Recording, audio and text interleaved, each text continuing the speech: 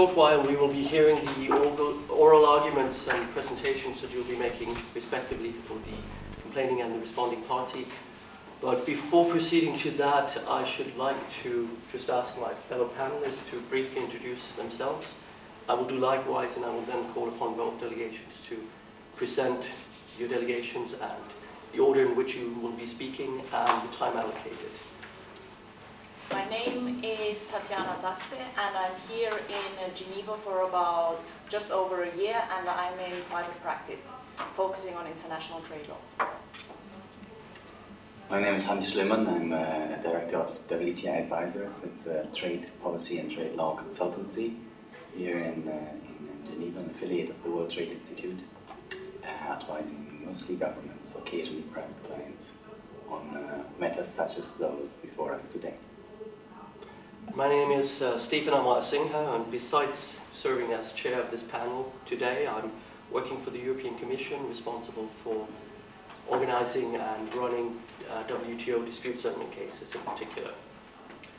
Now, I'd like to invite the complaining party to introduce your delegation and indicate the order in which your members of the delegation will be addressing the panel and the case. Please. Thank you. Thank you. Good morning, distinguished panelists learned counsel from Factro. My name is Zishan Afiz, counsel for WTO member Costa. I'd like to begin by introducing you to my co-counsel, Mr. Sean Kulkarni and Ms. Elizabeth Good. There are three issues before the panel in this current dispute, which my co-counsel and I intend to address in the following order. First, I will spend six minutes showing why this panel must exercise jurisdiction over this dispute. Second, Mr. Kulkarni will spend 15 minutes showing why this why license B was a violation of Factro's obligations under both the TRIPS and the decision, and he will be speaking for 15 minutes. Finally, Ms. Gergen will also be speaking for 15 minutes. Will address why license C was also a violation of Factro's obligations. Following Factro's arguments, Mr. Kulkarni reserves the right for four minutes to rebuttal. Thank you very much. Thank you very much, Counsel. So I trust that timekeepers have taken duly note of that, including the four minutes reserved for rebuttal, if remaining, once we get to that stage. I'd like to invite the uh, responding party to introduce your delegation and the order in which you'll be speaking. Good morning, members of the panel. My name is Mr. Strubov, and today, together with my colleague, Mr. Weberstedt, we represent the respondent in this matter, the government of Factorial. Today, my colleague and I will respond to the three issues presented by the delegates of COSTO. Mr. Weberstedt will, will respond to the issue of jurisdiction and the issue of license C, and speak for altogether 17 minutes. I will respond to the license C and speak uh, to the license B and speak for 20 minutes. We request three minutes for rebuttal, and if granted, Mr. Weberstedt will present these submissions. Thank you. May I just, uh, a quick question on your, you're applying the principle of res judicata, but in the context of the WTO dispute settlement, um, like what's our basis to take that principle into account? I mean, we have the DSU, we have the, the agreements, but what, what's your suggestion? Uh, how should we apply that principle?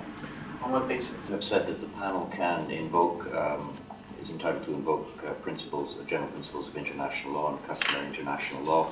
Um, are you able to point us to any cases where tribunals uh, adjudicating issues of international law have applied this principle of res judicata um, between them? In other words, tribunals in two different systems.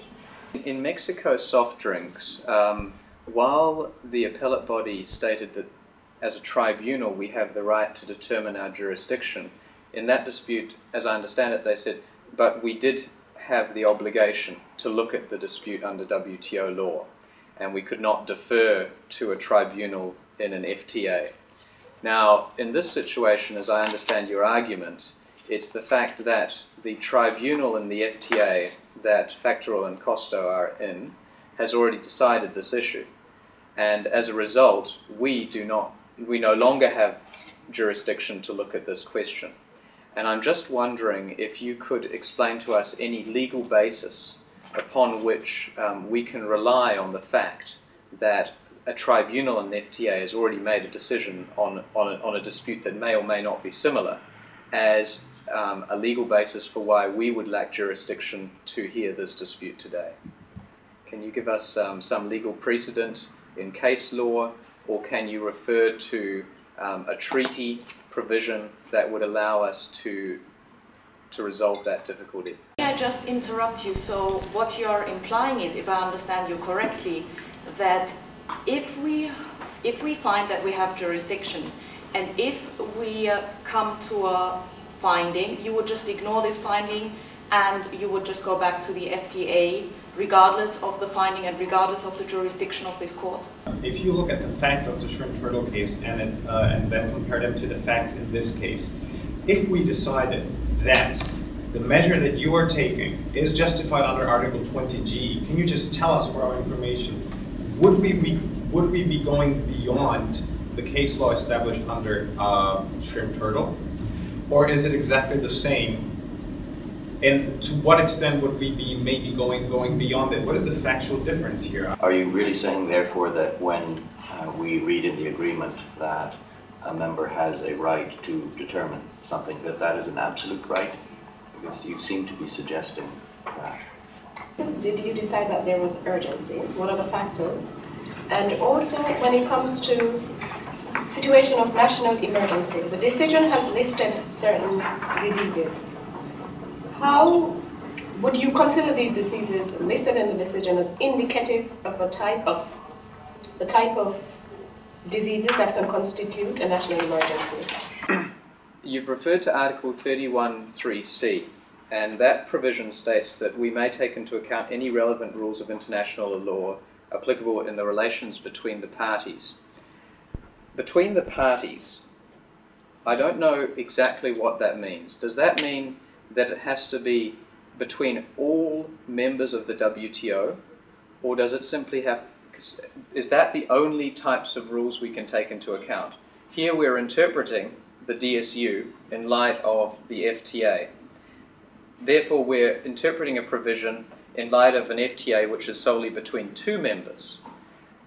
I don't know if the Vienna Convention allows us to do that. I don't understand how you can say that there is no justification under Article 20G or 20B and you need not discuss the chapeau. Because if I read Article 20G, it says relating to the conservation of exhaustible natural resources. You agree that whales are exhaustible natural resources. We have a conservation problem with whales, and any measure that would even give an incentive to companies or whoever to reduce whaling would seem to me to be relating to the conservation of an exhaustible resource. So I'm not sure that your very narrow reading is in, in tune with, uh, with the very idea behind uh, both Article 31 and perhaps the wave of documents that have been built and piled upon it. Perhaps you want to comment on that. Yes, thank you, Mr. Panelist, for allowing me to clarify that point. Thank you, Mr. Panelist, for your question. As a matter of fact, that is, has been proposed by several members in the TRIP system. However, the state of Costa decide, uh, declares that that is not an acceptable measure for the following reasons. I would suppose we leave it here and uh, we hear your uh, colleague and perhaps it's the same argument, perhaps the other arguments. We might come back to that. Please.